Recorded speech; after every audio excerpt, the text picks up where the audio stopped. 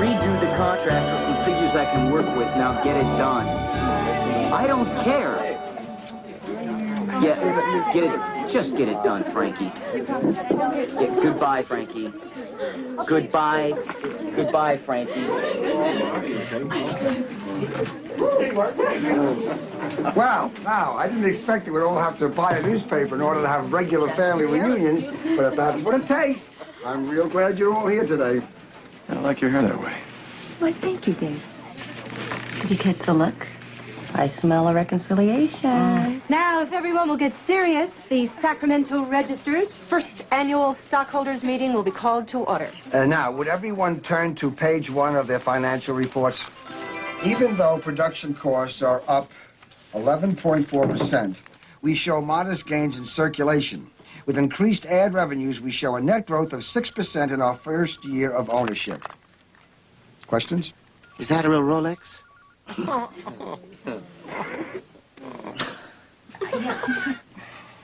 I, I mean about our financial reports. Yeah, I have a question.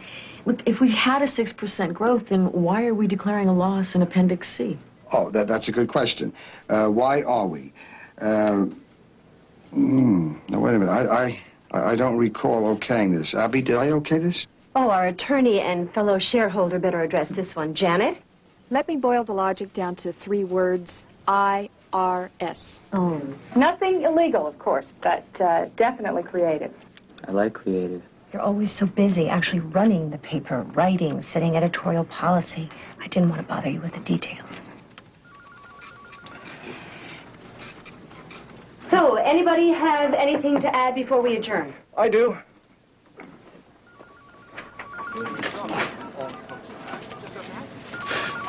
Dude, Bradford here.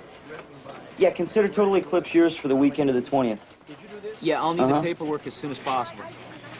Everybody, I've got to set up roadies. I've got this is Marlon Fulbright, I've got trucks, I've but she doesn't like to be called Marlon, so uh, just call her Mike. I am not moving. Mike, this is my dad, my stepmother Abby, Mary, uh, Joannie, Hi, Mike. I don't really care. Elizabeth. I want the paper Hi.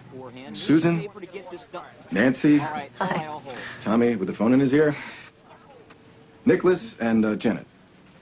I told you about Janet. It's nice to meet everyone. nice to meet you.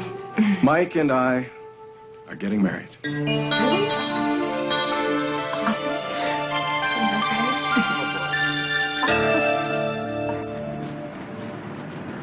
Tommy, I have got to get a look at this car. A minute later, I'll give you a ride.